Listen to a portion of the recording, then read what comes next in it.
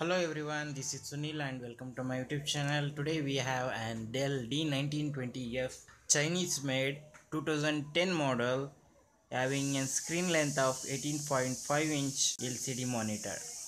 Front side we have a screen with matte finish and Dell logo.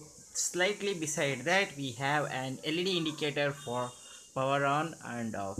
That's all from the front side from the side view you can actually see the actual thickness of the product. It's an lcd so it is thick.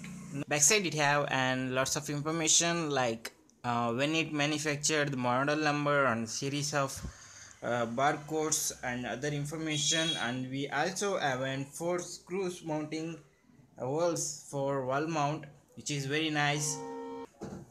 Uh, if you have to very careful there is an uh, button here you can press like this and remove the stand. Simple right? You can push this button and remove.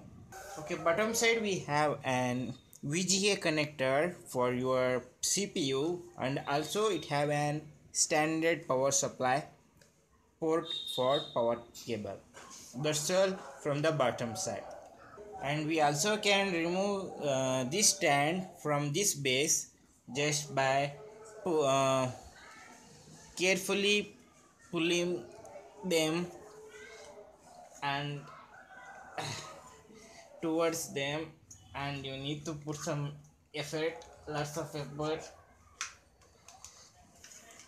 Wait.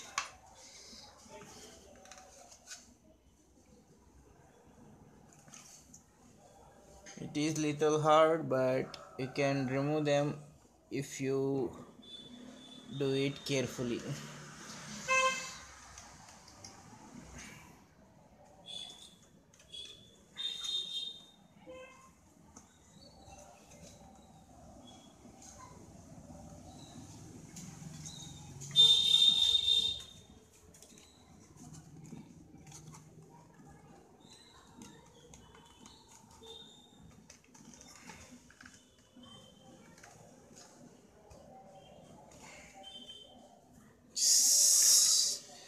okay that's an that's an hard work right? That's an very hard work. You need to pull these things towards them gently and you have to shake it little bit and on the both side like this. You have to shake it like this and remove. You have to push these two notches and you have to shake like this and it will come off just like this it is a very tight fit so it you may uh, face some problems while removing it but you can remove this without uh, any trouble if you have little patience. So i'm gonna show you uh, assembling now. It is a very easy task to assemble.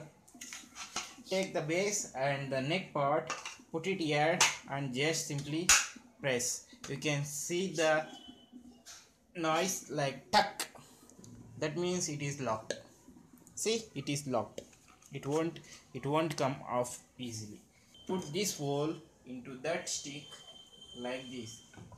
Just simply drop. Okay. That's all. This that's all and assembling and disassembling. Assembling is easy but disassembling this one is little uh, hard. You have to be patient otherwise you will break this product.